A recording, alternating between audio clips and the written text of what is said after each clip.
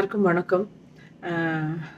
Vijayakanth sir வந்து லாஸ்ட்டில் இந்த மாதிரி ஒரு நிலைமையில் வந்து பார்க்க முடியலன்னு எனக்கு ரொம்ப வருத்தமாக இருக்குது நான் வந்து இங்கே ஒரு கேரளாவில் ஒரு ஷூட்டிங் வந்திருக்கோம். யோகு பாபு கூட இங்கே தான் இருக்கார் நாங்கள் ரெண்டு பேருமே ரொம்ப வருத்தப்பட்டோம்.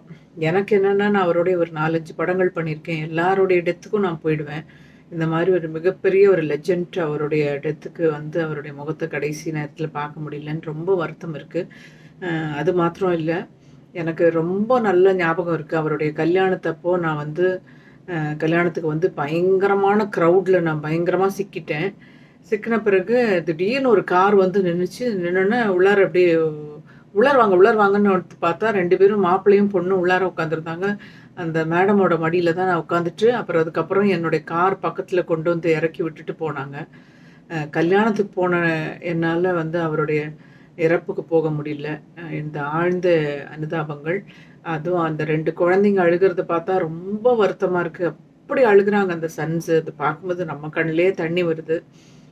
ரொம்ப நல்லவருங்க. ரொம்ப ஒரு ஒரு லீடர்ஷிப் இருந்துச்சு அவர்கிட்ட. ஒரு ஸ்ட்ராங் மேன் அவ்வளோ வெரி வெல் எஜுகேட்டட் இல்லாட்டினா கூட அது ஒரு ஒரு விஷயத்தை எப்படி ஹேண்டில் பண்ணணுன்றது அவருக்கு ரொம்ப நல்லா தெரியும். நான் நாலஞ்சு படங்கள் பண்ணியிருக்கேன்.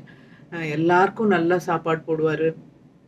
நடிகர் சங்கத்தை நல்லபடியாக கொண்டு போனார். பாலிடிக்ஸ்லையும் நல்ல எக்ஸ்பீரியன்ஸ்ட் ஆனார்.